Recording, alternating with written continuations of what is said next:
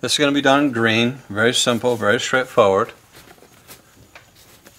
So I'll do that first.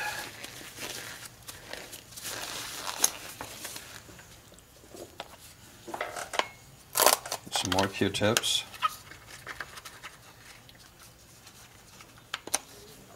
One of the reasons why I'm doing this sort of modification of the pattern is uh, it's nice knowing how to do it. Because let's be honest, most people get into doing leather so they can do different things. I'm doing a test piece on it a little bit just to make sure that, that that's actually green. Because you don't want to dip into the wrong color and then go, hey, guess what? That's not green. That's some other color.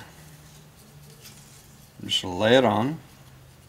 It's a nice color of green, actually. I like it.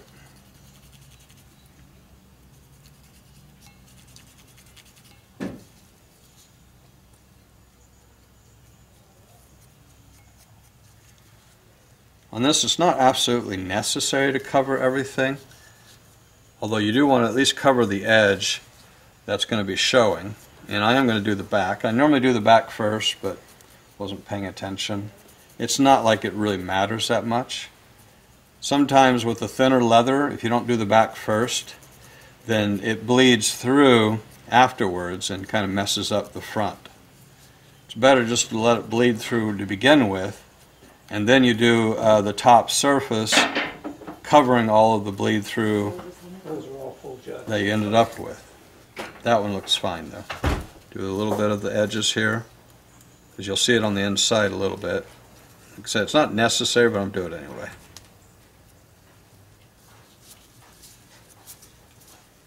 Just because I think it's good to be thorough. There's that one.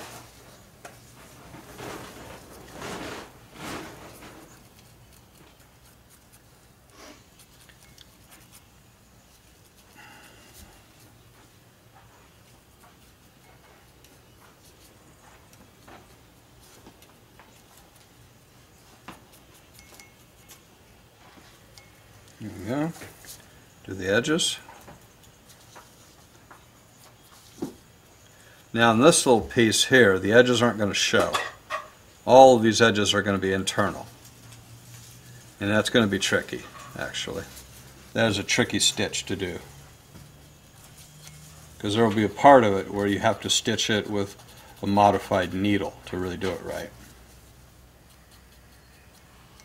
A regular needle just doesn't work. So there's my green. I'm going to put these pieces off to the side. I'll bevel that later, so I'm not worried about it right now.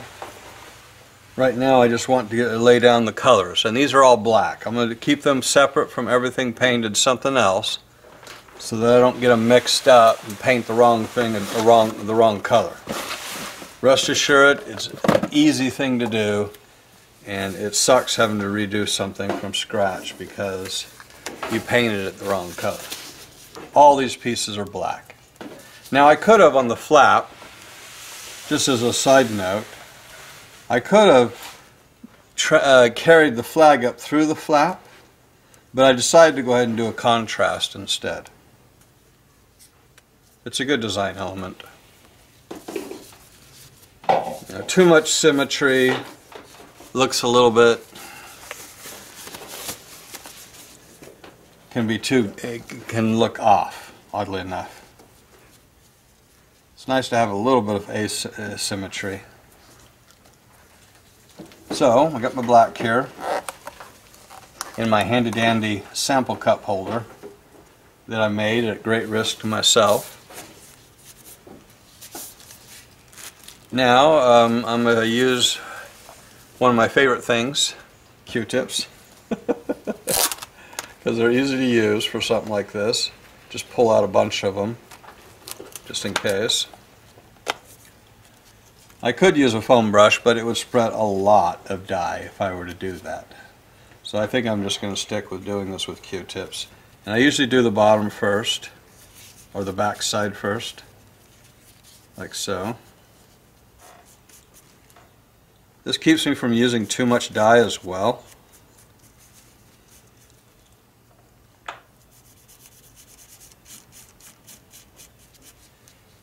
Use too much dye and gets everywhere, and then it doesn't want to dry.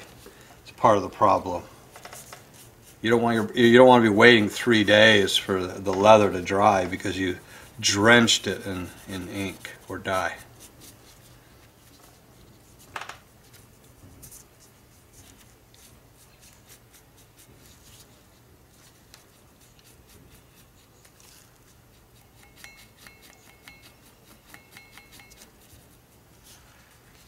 There we go. That looks like it's already got a protective coat on it. Some of the leather pieces that I get are like that. That's why it just sort of runs right on it.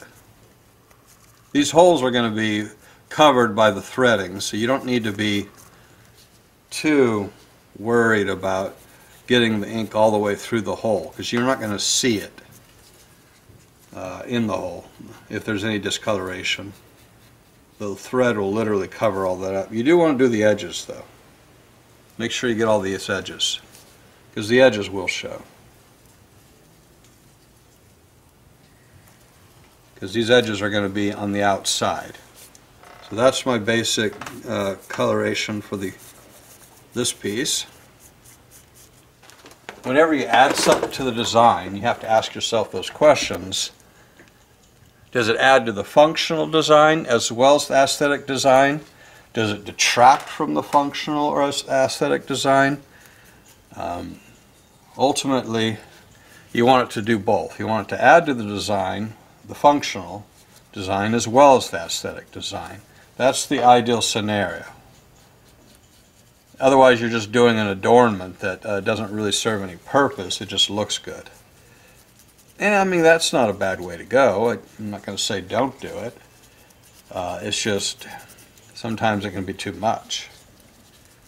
Rest assured, I've done that myself where I, I did those buckles on this bag I was working on.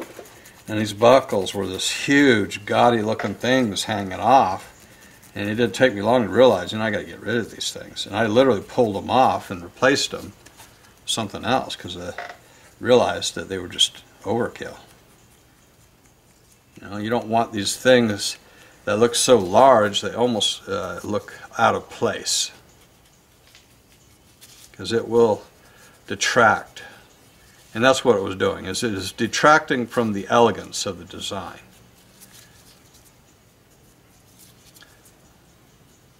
Trying to do these edges here. Just about out of ink. You know, my little sample thing. Hopefully I have enough there to do the rest of it. We'll see in a second.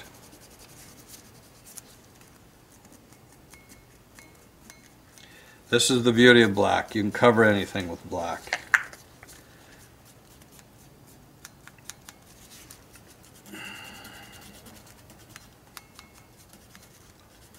Okay.